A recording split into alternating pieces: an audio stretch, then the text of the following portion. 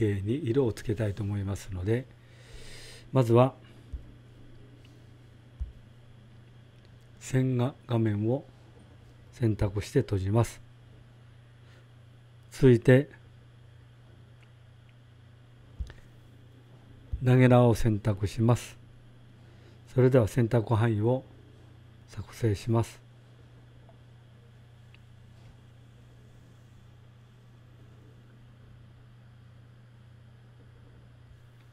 はいこのようにして選択範囲を作りましたので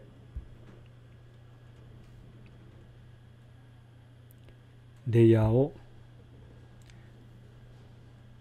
5を選択して塗りつぶしを選択します。そして5のレイヤーを選択します。選択が終わりましたらバケツで範囲選択した部分にタップします。そうするとこのように色がつきます。続いて白の部分に色をつける場合には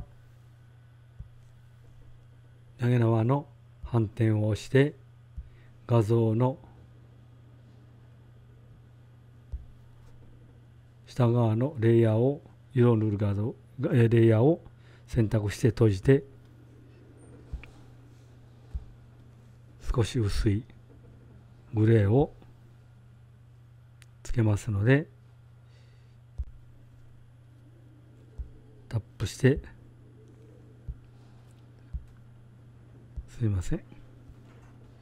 選択はちょっと忘れないでください。4をこの4の部分のレイヤーを選択して閉じます。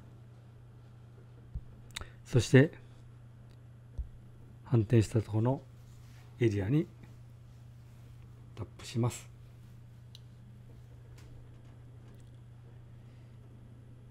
このようにして背景に画像を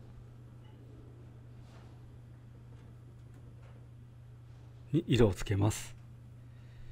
それでは単調ですのでまた別に解除して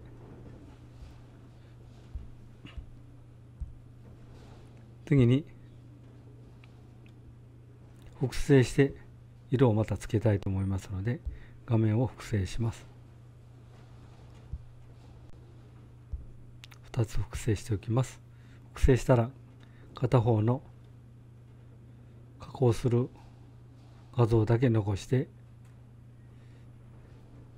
一旦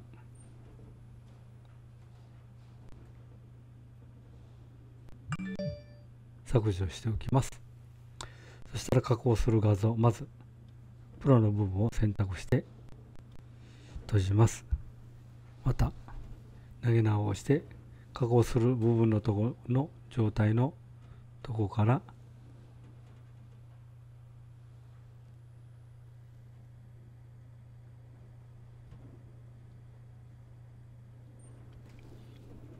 このようにして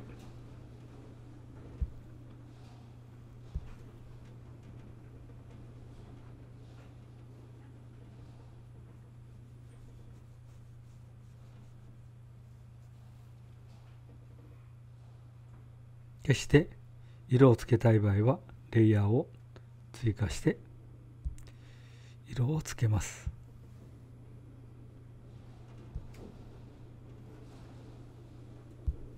今3ですので3の レイヤーを選択します。終わりましたら色をつけます。グレーの色でしたらグレーをつけて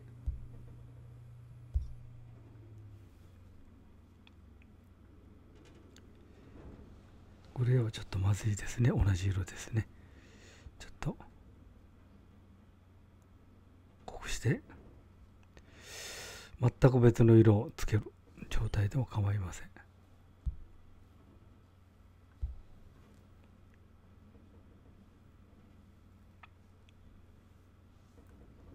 このようにつけていただいて続いて